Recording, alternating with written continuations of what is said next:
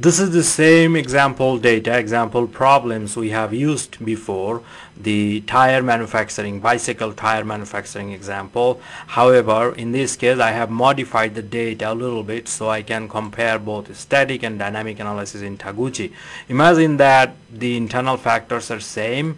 The tire company now testing some new thread per square inch they are using another type of rubber and maybe another type of construction method so these the number of miles um, uh, found from each of these tires they they kind of changes now. And external factors same thing. When when they are gone in the market people use them in different temperatures different humidity.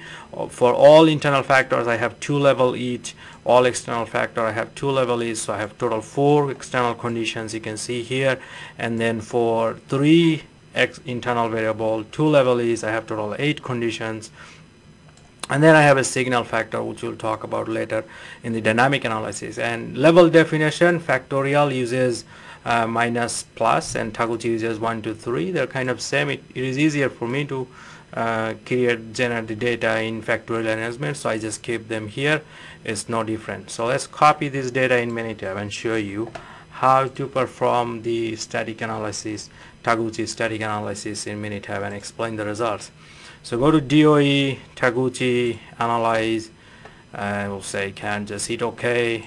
And then factors, I have three factors, internal factors, and then no signal factor that will come in dynamic analysis.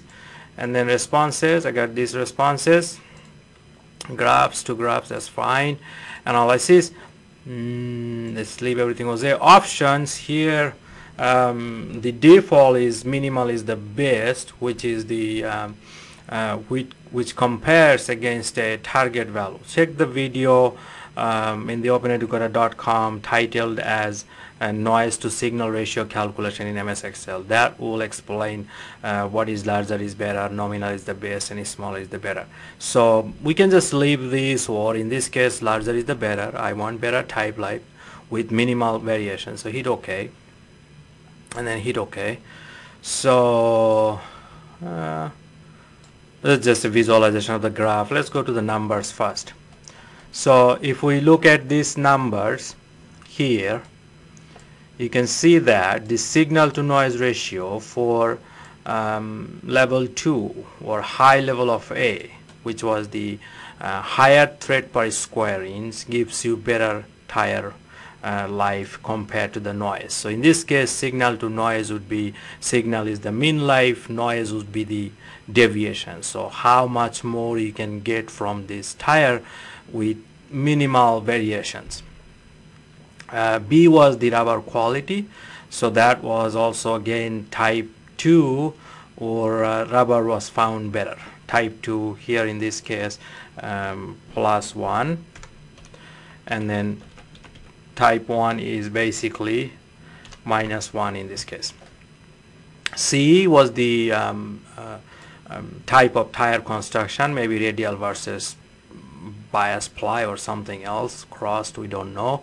So type 2 looks like gives better um, uh, signal to noise ratio. Now if you look at all of these three, uh, variable A, which is the thread per square inch, provide the, um, the maximum uh, effect.